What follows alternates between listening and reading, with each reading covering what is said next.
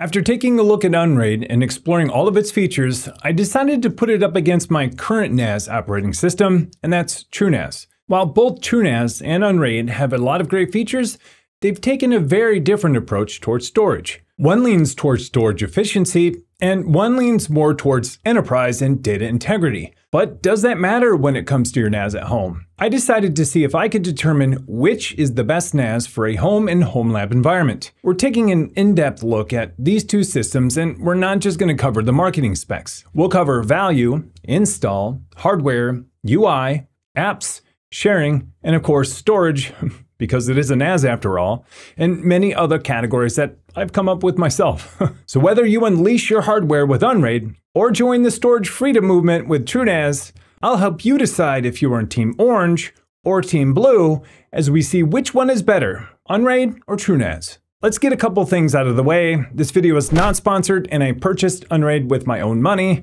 but if you'd like to help support the channel and get something in return, you should check out my merch shop where you can pick up a cool dark mode t-shirt and more. Today we'll be comparing the base Unraid OS to the community edition of TrueNAS Scale and only covering features that ship today, not ones that will come out in the future, and not ones that you can add from an app store or with scripts. We'll just be comparing the base product itself. We'll start with one of the first choices you have for both, and that's price. TrueNAS Scale Community Edition is free and open source and comes with all of the features we'll talk about today, which is quite a long list. It's based on Debian Linux and is free to download and to use. On the other hand, Unraid is built on Slackware Linux, which is open source, but Unraid Unraid itself is a paid product and its source code is closed. And on top of that, it has tiered pricing as well. There are three licenses to choose from, and only the highest license allows unlimited drives and updates for life. That's right, if you're buying Unraid, you're also signing up for a subscription by another name if you want OS updates after a year. That being said, there is a free 30 day trial to test it out. So, what would you rather choose? Free and open source or paid and closed source?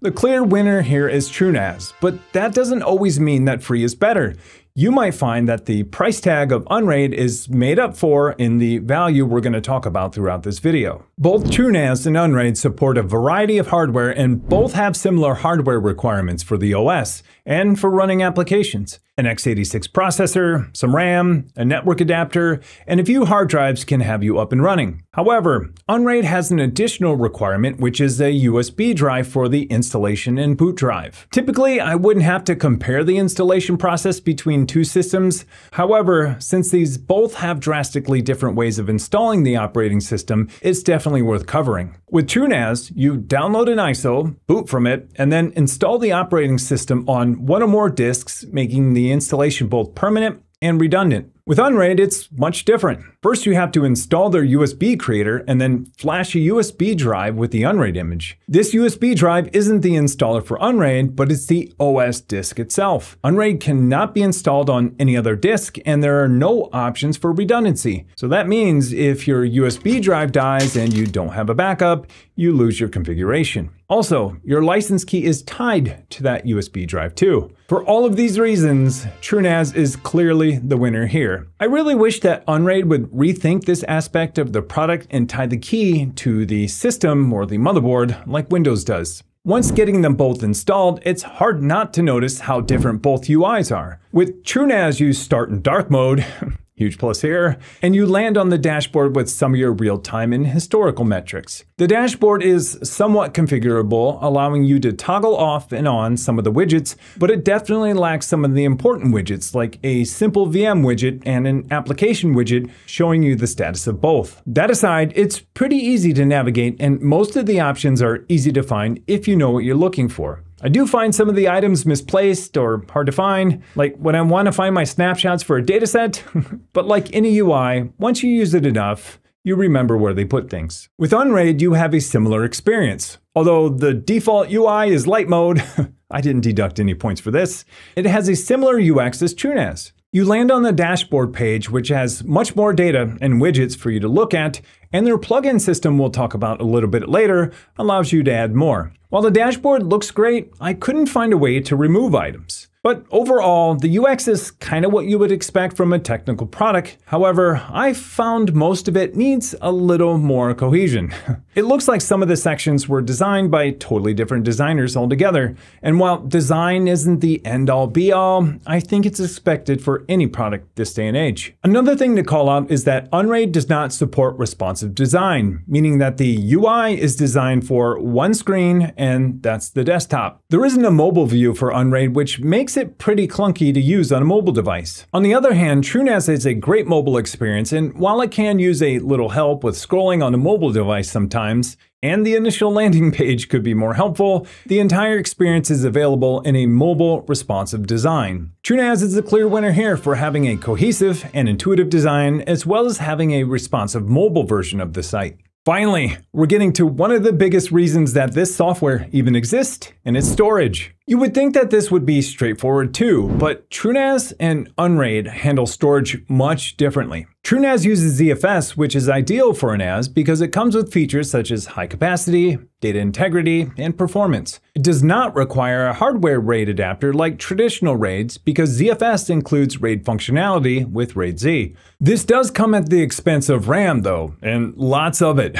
the more RAM you have, the more it will help with caching, compression, deduplication, and metadata, overall giving you more performance. ZFS is also particularly helpful with snapshots. These are near instance point-in-time copies of the dataset at the moment it was taken, and each subsequent snapshot is only the difference between the two, making them really efficient. TrueNAS makes all of this easily accessible within their UI, even if you have limited knowledge of ZFS. Data verification with scrubbing happens automatically, snapshots can be scheduled on a timer, and you'll be notified if something goes wrong, and failed disks are easy to replace in the UI. That being said, while it's technically possible to use other file systems on TrueNAS Scale, ZFS is the primary use. With all of these upsides comes one of the biggest downsides, and it's expanding your pool. You'll need to plan to expand up front, and some of the choices you make do impact your ability to expand in the future. Unraid takes an entirely different approach. It doesn't actually use a RAID at all, it uses its own storage management system, which is called an Unraid array hence the name Unraid. What's cool about it is that it lets you mix and match different hard drives into a single storage pool. It protects your data through parity drives, which allows Unraid to reconstruct your data in the event of a failure. This allows you to get much more efficient use out of your hard drives because you only need one parity drive. Also, you can expand your array at any time with any size drive. Just add it to your array and you get the storage. Unraid also supports BTRFS or ButterFS, and now even ZFS, giving you even more flexibility for your storage. So who's the winner here? Is it TrueNAS for really focusing on ZFS and giving you a robust but rigid file system for home? Or is it Unraid for giving you the flexibility to build your array using any drive you have laying around and maximizing your storage utilization? Honestly, this one is tough. Now, I'm not judging based on which one has a better file system, but which one is more valued by the people who use it. I don't think there really is a clear winner here. I think this is going to depend on what you value the most. Higher data integrity with TrueNAS, or better storage utilization of your drives with Unraid. Honestly, I'm gonna call this one a tie. I could do that, right? Yeah, my rules. While both systems make it kind of easy to set up and share files for both NFS and SMB, as well as assigning permissions, while it's not intuitive at all, it's a little less intimidating to do and configure in Unraid that is, if you can find it. that being said, they are equally not easy to use nor intuitive at all, and I think some kind of guided wizard would help out on both products. One type of share that's overlooked by Unraid is an iSCSI share, which isn't available on Unraid. TrueNAS makes it a first class citizen on its sharing page, along with a wizard to guide you through the confusing process of setting up an iSCSI target. Other than that, what can you say about shares? You set them up, you give them permissions, and they work. And since TrueNAS also includes iSCSI shares, I think they are the winner here. Now, there are many of you, like me, who like to run apps on top of their NAS. After all, why not take advantage of all that storage without another system running 24 7? Both TrueNAS and Unraid are able to run hundreds of apps, but they do so in a very different way. Yes, they both give you ways to run any ad hoc container you want, but they also give you the option to select one of hundreds of apps that they have in their app stores. This is where they start to diverge. Without getting too much into the implementation details, TrueNAS uses Kubernetes with Helm chart templates, and Unraid uses Docker with their own templates. Again, this isn't something normal users would typically care about, but because of these choices, it has an impact on how these apps run, networking and storage options, and even the amount of apps in the App Store. TrueNAS has very few apps in their App Store without adding a community catalog like TrueCharts. This community catalog, combined with the TrueNAS developed templates, brings over 800 applications that you can install in just a few clicks, which is pretty impressive. The App Store can be filtered and sorted with a few options, and for the most part, the App Store is what you would expect from a NAS. The nice thing about TrueNAS's App Store is that you can add your own catalog of applications just by adding your own feed to the catalog. Now, you will have to format the feed and template in a way that TrueNAS expects it, but it's a nice option to have. Applications run just as you would expect them to, and it's easy to make changes to them. Although you don't get a widget to add to your dashboard, you do get to see metrics for each app running, which makes it really nice to see which application is using a lot of resources. Also, backing up your apps is as simple as taking a snapshot of your application directory, which makes it really easy to revert if something goes wrong or you accidentally delete your app data. As far as Unraid goes, they have an app store too with lots of applications, like a lot.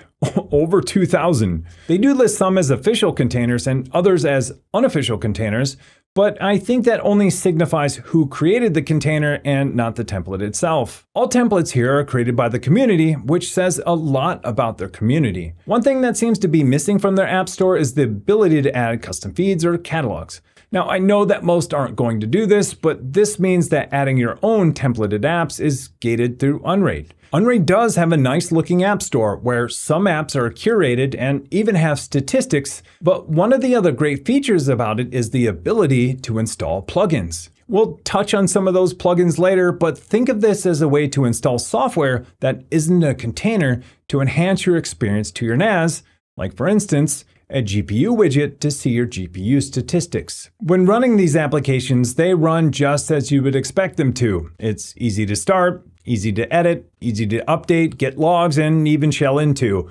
Also, there's no way to take a snapshot of these applications or their data. This makes upgrades more difficult if something goes wrong and really leaves you with no way to restore your data if that data disappears. You would think that the App Store with more apps, a better App Store experience, and a plugin system might tip the scales towards Unraid, but after realizing that there's no way to take snapshots of app data, now I think I'm leaning towards TrueNAS. When it comes to applications, the most important thing in that application is your data. And without a way to easily back up and restore this, I have to give this win to TrueNAS. The virtualization story is pretty much the same on both platforms. They both use KVM as a hypervisor, and they both have a pretty poor experience, in my opinion. Now, don't get me wrong, they both work, but I feel like they're both an MVP or a minimum viable product, or better put, the minimum amount of work to say that you have this feature. Now, don't get me wrong, I'm sure it was a ton of work to get to this point,